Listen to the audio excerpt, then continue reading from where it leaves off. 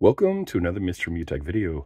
Today I'm going to show you how to back up your iPhone manually to iCloud and you can do this anytime you want. So maybe you're in a situation where you're about to make some changes to your device and you want to make sure you have the latest backup so you can restore it anytime you want.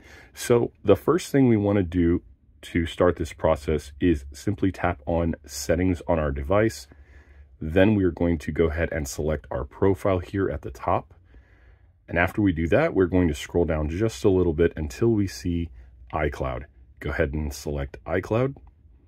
And then once you select iCloud on the next screen, you are going to go ahead and go to the option of iCloud Backup a little bit further down here under Device Backups.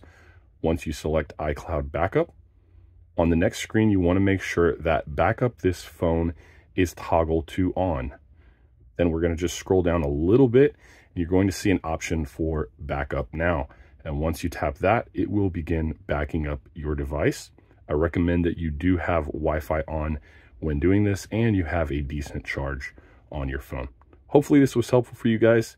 If so, feel free to give me a like. Thank you so much for watching. Have an awesome day.